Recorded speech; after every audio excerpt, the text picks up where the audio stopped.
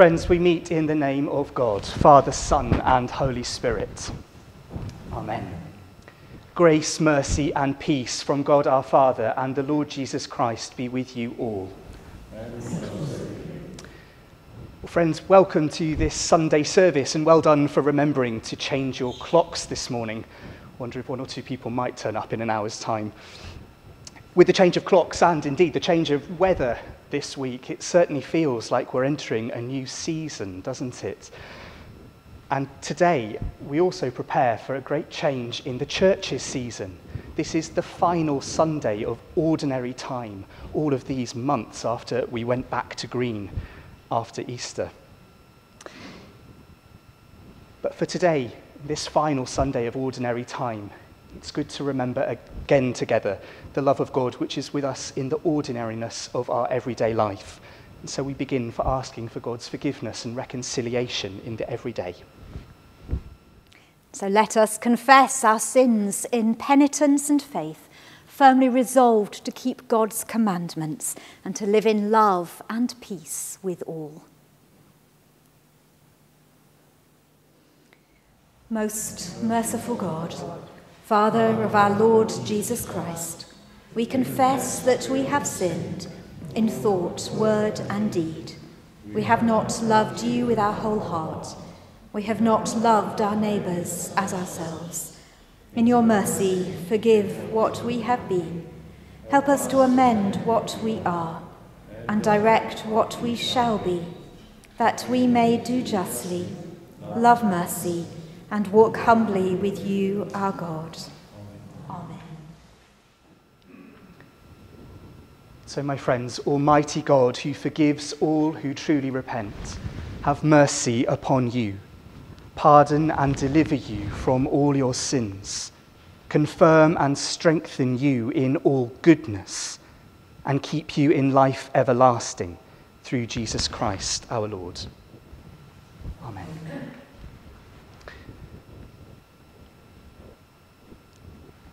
Let us pray. Merciful God, teach us to be faithful in change and uncertainty, that trusting in your word and obeying your will, we may enter the unfailing joy of Jesus Christ our Lord. Amen.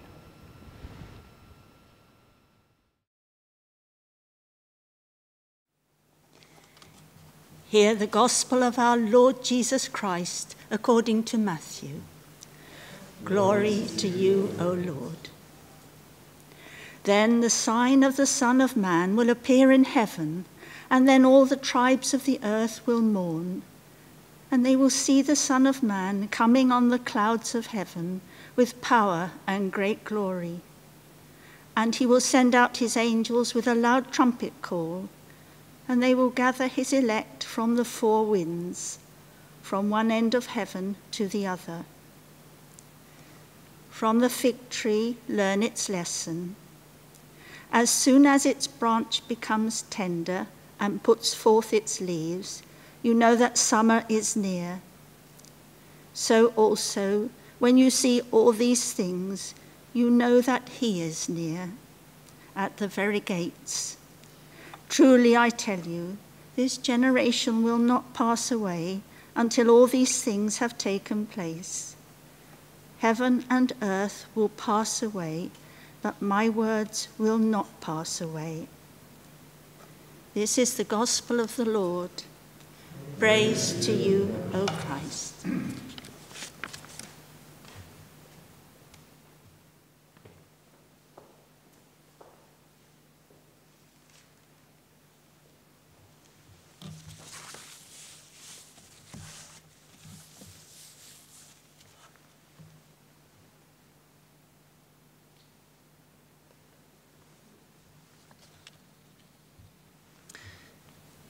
So, friends, may we speak and hear in the name of God, Father, Son, and Holy Spirit. Amen. So, on Wednesday this week, I attended an online conference for young priests. And the main speaker, who is not a Christian, told us that, in his opinion, the best strategy for mission is to really emphasize the weirdness of Christianity. Quite liked hearing that. He said that because the strangeness for him might just intrigue people enough to make them to want to find out more. As one other person put it, we need to put the odd back into God. Well, today's gospel passage, I think, will certainly put that theory to the test because it's very strange.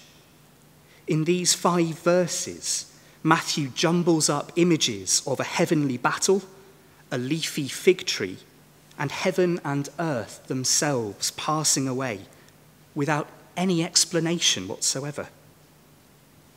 What on earth is going on? What is this word that endures? Should we really be expecting Jesus to appear overhead any moment with an army of angels? Well, whenever I'm faced with a weird passage like this one, I often find it helps to start by putting it in context. That is, unless that context is even weirder. And I'm afraid that this is one of those days. This passage about the Son of Man coming in glory and the, the tender fig tree appears in Matthew, Mark, and Luke and all three of them place it just before Jesus arrives at Jerusalem. But in Matthew, it plays a very particular role. Matthew's gospel as a whole basically describes Jesus' journey from Bethlehem to Jerusalem. And along the way, Jesus stops five times to teach. These lessons are known as the five discourses in Matthew. In each of these discourses, Matthew gathers together the teachings of Jesus on a particular theme. So, the first, which you will all know, is the Sermon on the Mount, where Matthew writes down everything Jesus says about ethics. Well, today's passage about the fig leaf comes at the very centre of the fifth and final discourse. It's the final teaching Jesus gives before the Last Supper and compared to the Sermon on the Mount, it seems terribly violent. Jesus kicks off by attacking the scribes and the Pharisees for being unjust hypocrites. Do you remember, have you heard before that times that Jesus cries out, Woe to you, scribes and Pharisees, hypocrites? He then laments over Jerusalem for all of the prophets who've been unjustly killed in the city. Then he talks about tearing down the temple in three days. And then he warns his followers that they will need to flee from wars, famines, and natural disasters in the future. The whole thing is full of angst, and in all honesty, I find it very hard to read. But then comes today's short passage, where Jesus tells us to look up to heaven where we will see not destruction or suffering, but the glory of God pressing in above a little fig tree, tenderly opening its leaves to the sun, blissfully unaware of the brokenness in the world. And then Jesus makes this ambiguous promise that we've just heard. Truly, I tell you, this generation will not pass away until all these things have taken place. Heaven and earth will pass away, but my words will not pass away. Well, what on earth do we make of this? Well, I think that this generation could refer to at least three different groups of people, and I wonder which seems right to you. Firstly, when Jesus talks to this generation, he could be talking to his disciples. All of this strange and unsettling language could tell us something about the way that Jesus is feeling at this moment on his journey. Perhaps it reflects the fear and the anxiety which is building as Jesus approaches Jerusalem, where he knows he will face betrayal and the cross. Perhaps the whole passage is inviting us to show compassion to Christ, along with everyone suffering from anxiety today.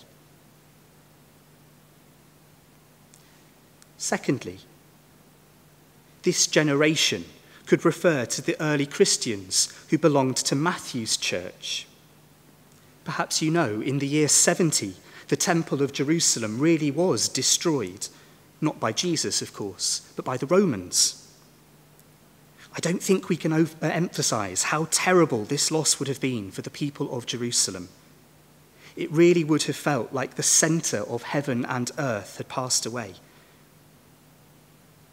And so lots of scholars have argued that Matthew was writing his gospel just after the temple was destroyed, using Jesus' teaching to try and make sense of what had happened, reassuring his church that God really was still with them in the words of Jesus, which he was writing down. Thirdly, of course, this generation could refer to us and to all people who have lived and believed since the resurrection and who are still waiting for Jesus to come again, waiting for the day when history will be fulfilled and made whole Perhaps Jesus uses this extreme language because he wants us to keep awake over this long period of waiting. He wants us to keep watching for the signs of the kingdom. And in fact, after today's passage, he goes on explicitly to say that we should keep watch carefully, for the kingdom will come like a thief in the night or an unexpected bridegroom. However, we interpret this passage, though, I personally think that it is the tenderness of the fig tree which is key for us today. This tenderness, I think, is the fig tree's lesson for us. Because despite the strange and the violent imagery in Matthew's fifth discourse, with heaven and earth passing away, this passage isn't ultimately about destruction at all. It is about life. Jesus doesn't say that God will come in wrath like winter, stripping the leaves off trees. He says that God will come in glory, like summer growth, like sap rising through branches and bursting through their buds into unimagined fruitfulness.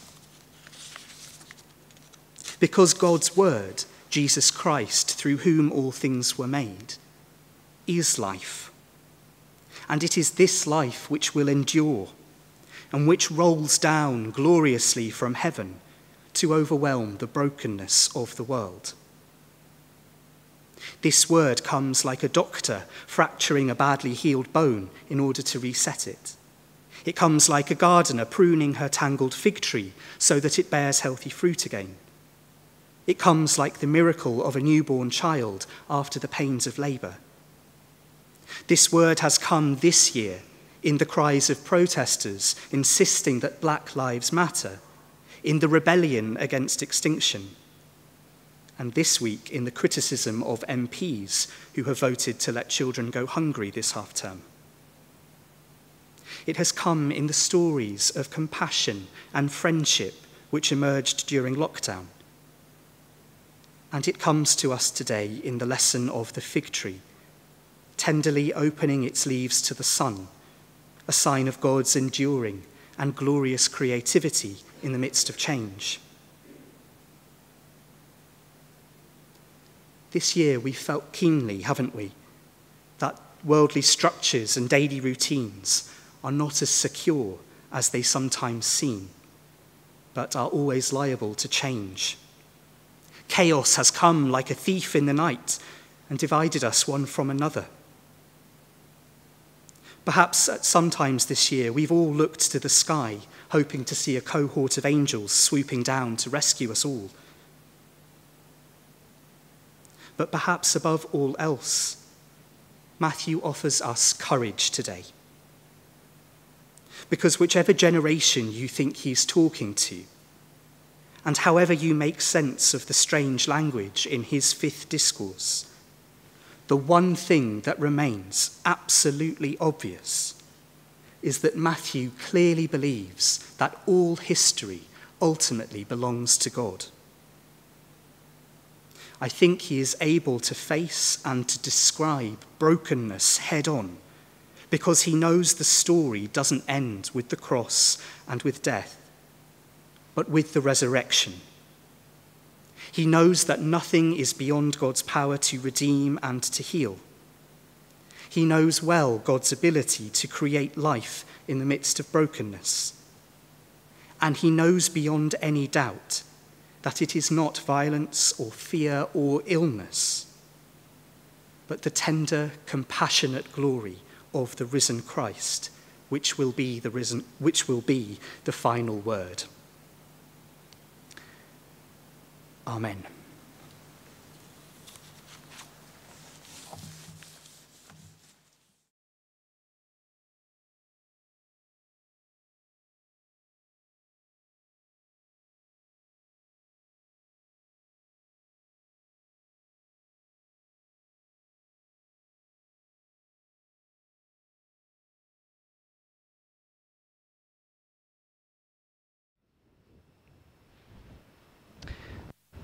So, like the tender fig tree opening its leaves to the sun, we open our hearts afresh to God as we affirm our faith in the words of the Creed. We believe in God the Father, from whom every family in heaven and on earth is named. We believe in God the Son, who lives in our hearts through faith and fills us with his love. We believe in God the Holy Spirit who strengthens us with power from on high.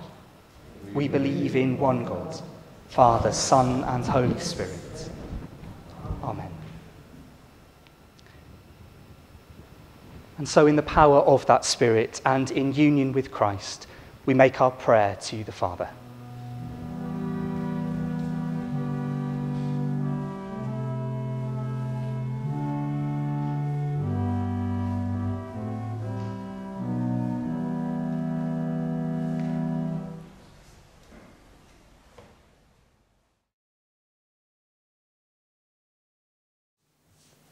Everlasting God, Lord of compassion, we come before you today to express our concerns for the church and for the world and to thank you for your goodness.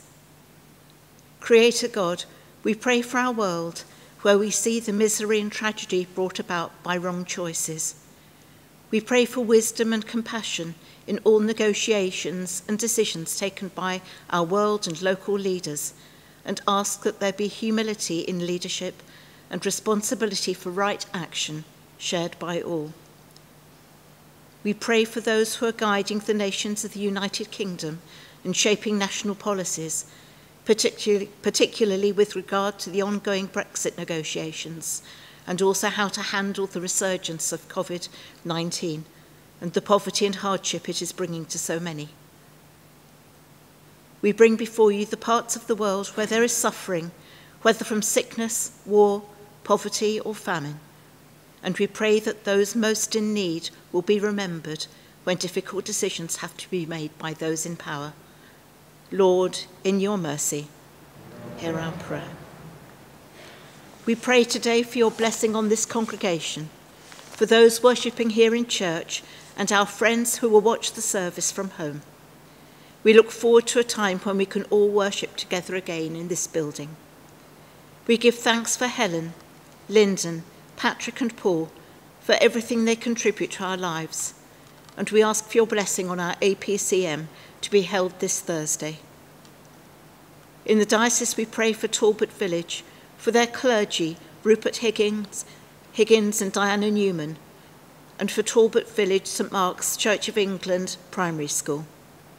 They ask us to give thanks for their staff, Mandy, Alex, and Marion, who have worked hard keeping in touch with people, and to pray for discernment to know how and what they should restart this autumn. In the Anglican cycle of prayer, we pray today for the Church of Wales and the Most Reverend John Davies, Archbishop of Wales and Bishop of Swansea and Brecon. Lord, in your mercy, hear our prayer.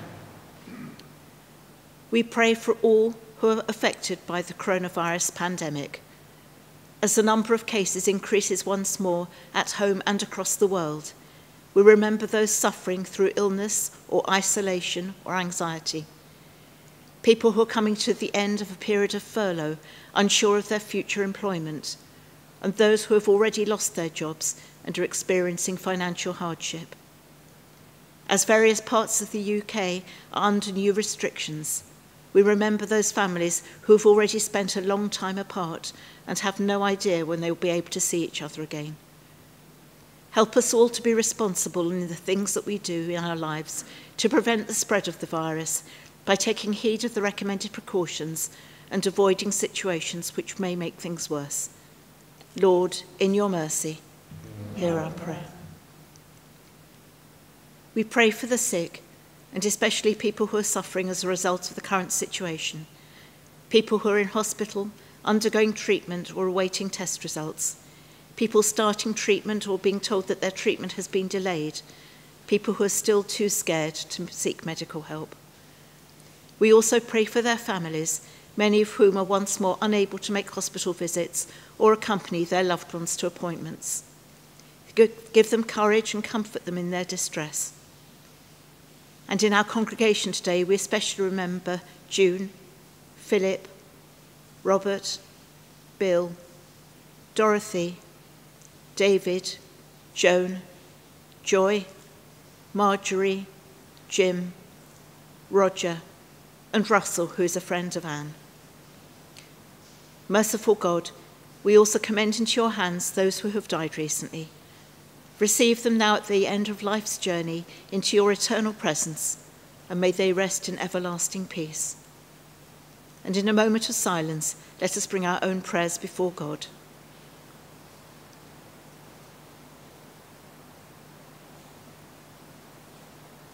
Lord, in your mercy, hear our prayer. Dear Lord, be at our side during the coming week. Help us to welcome one another as we would welcome Christ and to treat everyone we meet with respect, compassion, and forgiveness. Merciful Father, accept these prayers for the sake of your Son, our Saviour Jesus Christ. Amen.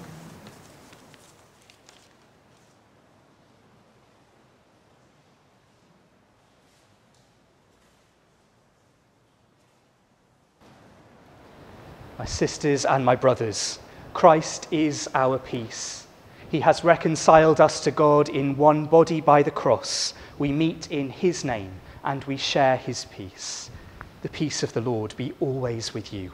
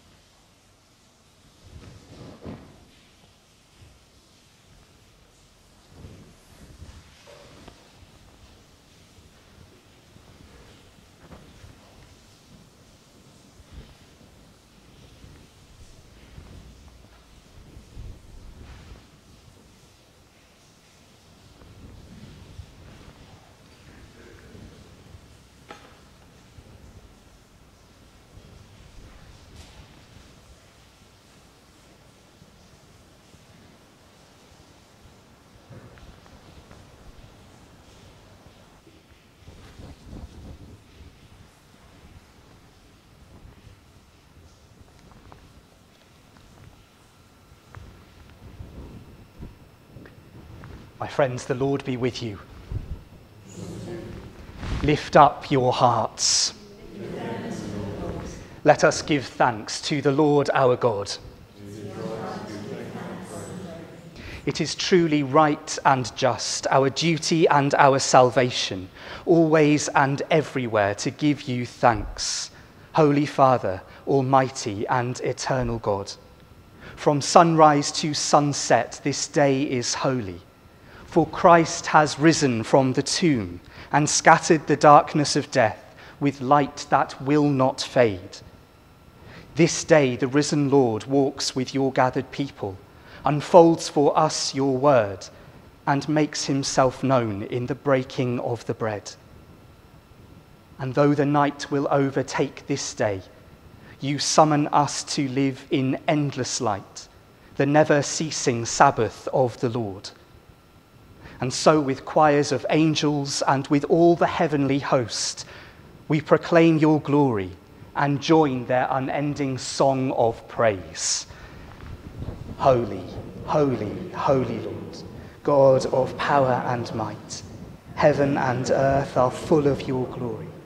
Hosanna in the highest. Blessed is he who comes in the name of the Lord. Hosanna in the highest. Accept our praises, Heavenly Father, through your Son, our Saviour, Jesus Christ. And as we follow his example and obey his command, grant that by the power of your Spirit, these gifts of bread and wine may be to us his body and his blood, who in the same night that he was betrayed took bread and gave you thanks. He broke it and gave it to his disciples, saying, Take, eat. This is my body, which is given for you. Do this in remembrance of me.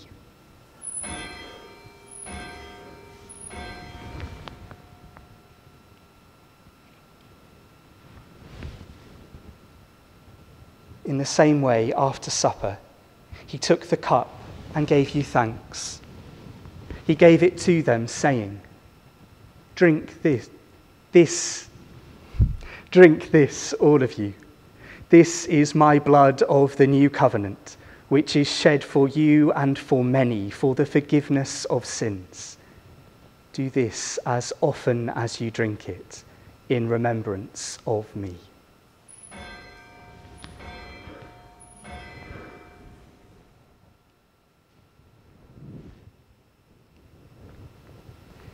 Therefore, Heavenly Father, we remember his offering of himself made once for all upon the cross.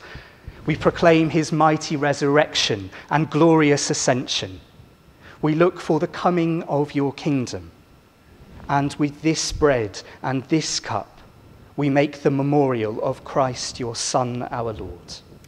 Great is the mystery of faith. Christ has died. Christ is risen. Christ will come again. Accept through him, our great high priest, this our sacrifice of praise and thanksgiving.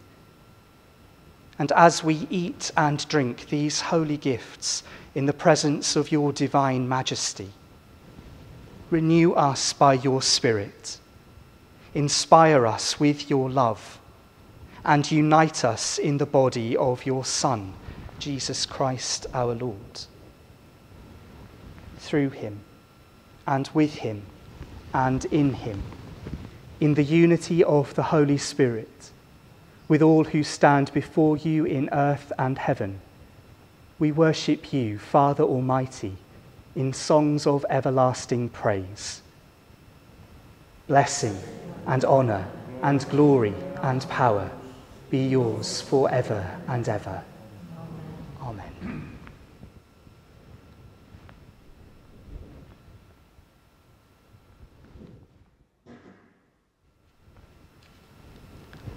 So, united with Christians around the world and through the ages, we pray as Jesus taught us.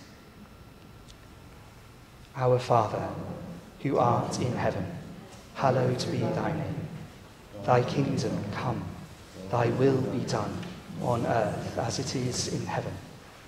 Give us this day our daily bread, and forgive us our trespasses, as we forgive those who trespass against us. And lead us not into temptation, but deliver us from evil. For thine is the kingdom, the power, and the glory, for ever and ever. Amen.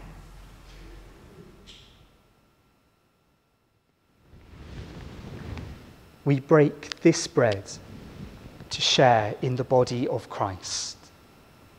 Though we are many, we are one body because we all share in one bread. Lamb of God, you take away the sin of the world. Have mercy on us. Lamb of God, you take away the sin of the world. Have mercy on us. Lamb of God, you take away the sin of the world. Grant us peace.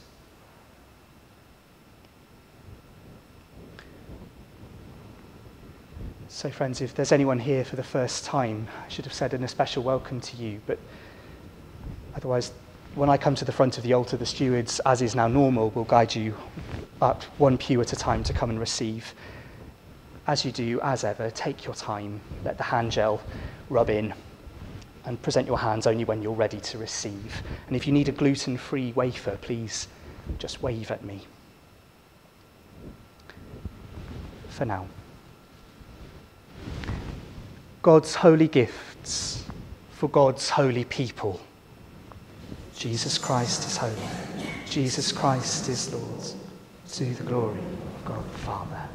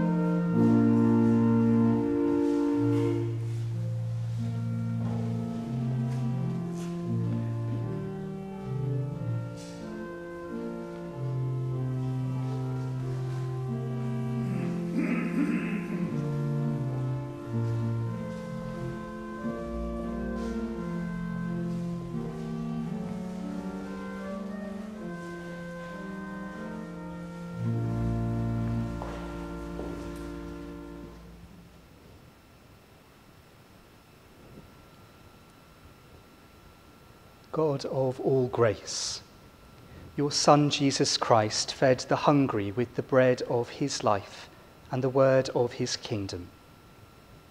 Renew us, your people, with your heavenly grace, and in all our weakness, sustain us by your true and living bread, who is alive and reigns, now and forever. Amen.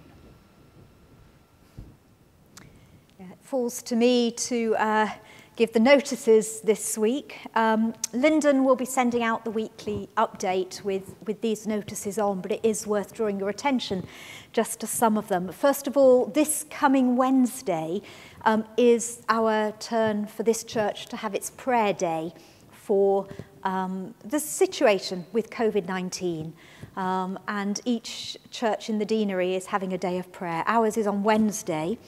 It's not too late to sign up for um, a half hour of prayer if you feel able to do that. It doesn't involve going anywhere, just stay at home and pray for that half hour. Let me know, just send me an email or phone me if you'd like to do that. I'll add you to the list. And then, of course, a Wednesday afternoon, as usual, is uh, when the church is open for private prayer. That's from 12 till 4.30.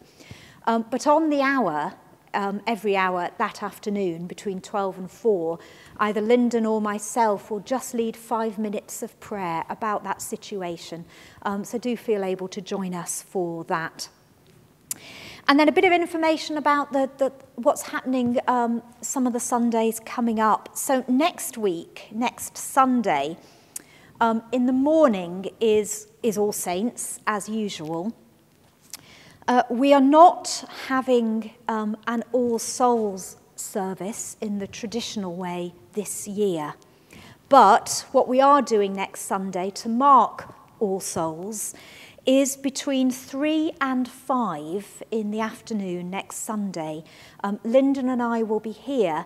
The church is open. There will be some very beautiful, reflective music playing, and there will be an opportunity for you to pop in to the church any time between 3 and 5 to light a candle, to have a moment of quietness, to remember your loved ones. Um, so please do feel able to use that space. Uh, the following Sunday, the 8th, is Remembrance Sunday, but the British Legion have decided it's just too difficult to have a special service. So we will be having our usual 9.30 service, but um, as part of that, we will incorporate uh, a small part of what would the usual Remembrance Sunday liturgy would be, just a small part of it, and we have a representative from the British Legion coming to that. Otherwise, that is uh, our usual Eucharist.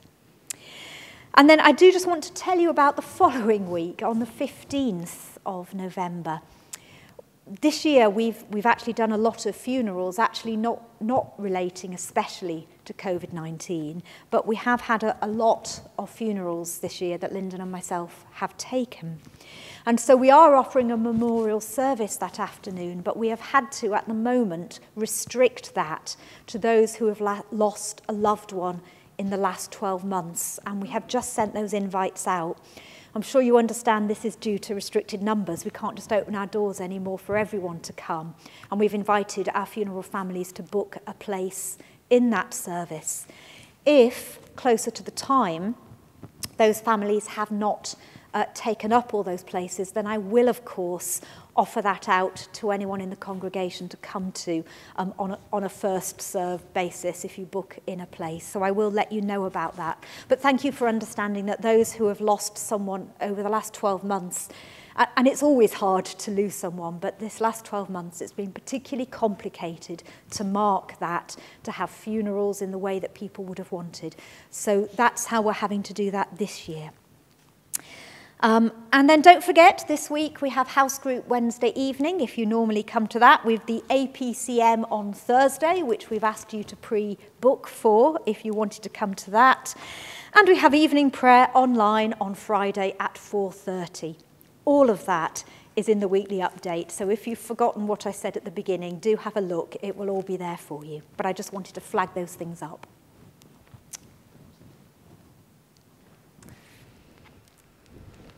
So, friends, we come to the blessing, that moment where we receive the grace of God, which remains with us unchanging through the week amidst whatever chaos might come our way.